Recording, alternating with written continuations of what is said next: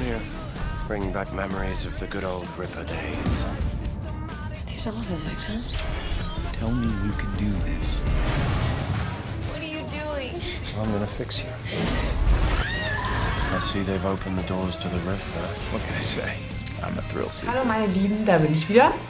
Ähm, zuerst mal habe ich andere Lichtverhältnisse geschaffen, wie man vielleicht sehen kann. Es ist nicht mehr ganz so rotstichig und auch nicht mehr dunkel. Ähm, es war zwar ein bisschen äh, ein turbulentes Unterfangen, weil die Kamera jetzt auf ziemlich vielen Büchern steht, aber äh, ich denke, ich hoffe, das hält.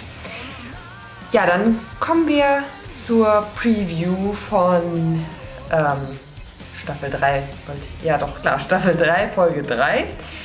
Äh, the End of the Affair. Ja, das Ende der Affäre. Welche Affäre? Mal sehen, wie der Titel zu der Folge passt. Zuallererst wollte ich mich noch korrigieren. Ich habe ja letztes Mal äh, Paul unterstellt, er hätte behauptet, seine Lieblingsfolge wäre 3x2 gewesen, was natürlich totaler Humbug ist, weil es ist nämlich jetzt die kommende Folge, was ja auch viel mehr Sinn macht. Ja, da ist es ja ziemlich Klaus und Steffen lastig, äh, wie man zumindest so herauslesen konnte. Was ja auch die Episode Stills, die wir schon gesehen haben, ja darauf hindeuten.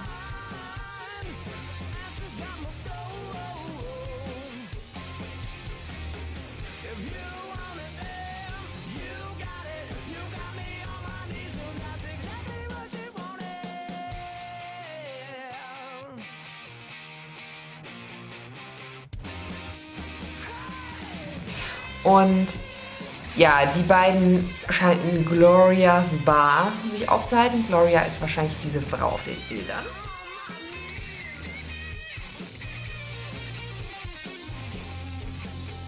Und was mit dieser Gloria auf sich hat, wissen wir nicht. Vielleicht ist ja so, ähm, hat sie ja ein bisschen Ähnlichkeit mit Steffens alter Flamme Brie. Aber wahrscheinlich hat es dafür nichts mit. Ja, ich weiß nicht, ich glaube, das ist nicht sein Geschmack. Ja, aber apropos alte Flamme, denn wie wir wissen, kommt da der erste Rückblick in dieser Folge. Und zwar, ja, in Bezug auf Stefan und seine Ripper-Zeiten. Wo wir dann auch Becky kennenlernen werden, seine Ex-Flamme, die total auf ihn abfährt. Äh, ja, wird gespielt von, mir ist gerade der Nachname entfallen, Claire, ah, Holt. Genau, Claire Holt. Leider gibt es da überhaupt noch gar keine Bilder, was ich sehr schade finde. Ich habe versucht, irgendwie Fanseiten von ihr zu finden, aber da war leider irgendwie nicht sehr viel rauszuholen. Ich habe ein paar gefunden, wo sie mit Fans drauf ist am Vampire Diaries Set, soweit ich das erkennen konnte, aber jetzt nichts in Bezug auf der Folge. Aber sie kommt auf jeden Fall vor und da bin ich mal gespannt drauf. Und vor allem, wenn sie jetzt im Rückblick vorkommt oder eventuell auch äh, in der Realität, also in der jetzigen Zeit, werden ja dann Elena und Damon bekommen ja einen Hinweis aus einer unerwarteten Quelle, aus einer überraschenden Quelle, welche auch immer das sein wird. Bin ich auch mal ein bisschen interessiert dran. Was ist eigentlich mit Catherine? Ich habe schon an sie gedacht. Ich meine, die hat sich ja dann einfach aus dem Staub gemacht, nachdem sie da aus äh, Ricks ähm, Wohnung, Zimmer, Apartment, Bunker da raus konnte. Ja, vielleicht, aber ich denke, das wäre ein bisschen viel auf einmal, wenn sie jetzt auch noch zurückkäme. Naja, keine Ahnung, wir lassen uns überraschen. Ja, auf jeden Fall ähm, haben wir ein Bild, wo Damon und Klaus im Gespräch sind. Mal sehen, was uns da erwartet. Ja, und die Frage, die sich natürlich stellt, ist, wo ist Elena? Treffen sich Elena und Steffen? Ich hoffe es. Könnte interessant werden. Aber wahrscheinlich schützt Damon sie oder Rick hält sie von, davon ab oder keine Ahnung. Wahrscheinlich wird das nichts.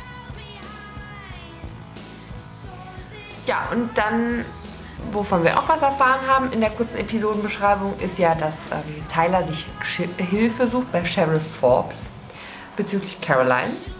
Was mich jetzt wundert, ist, ähm, warum hat Sheriff Forbes noch nicht mitbekommen, dass ihre Tochter verschollen ist? Ich meine, da wird ja jetzt auch ein Tag vergangen sein. Ich weiß nicht. Ich meine, die sind ja morgens aufgewacht. Ähm, und dann war ja die Nacht des Vollmondes. Und die Nacht ist ja auch schon wieder rum gewesen.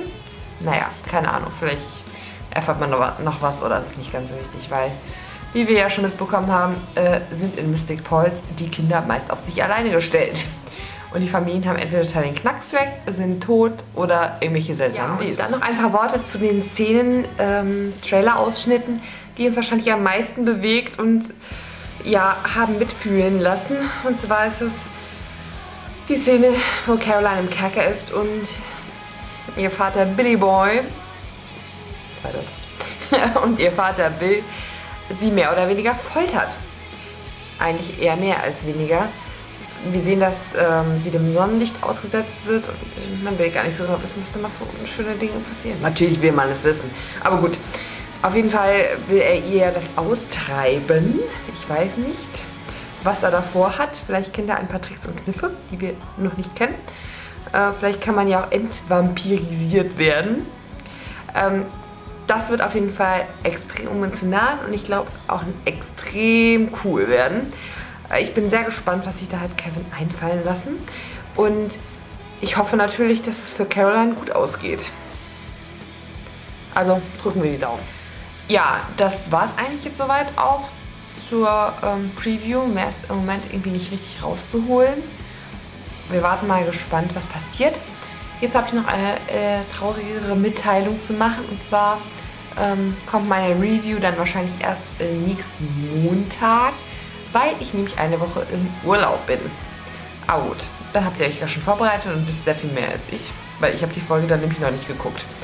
Also, dann wünsche ich euch auf jeden Fall eine schöne Woche und natürlich noch ein schönes Wochenende. Tschüss!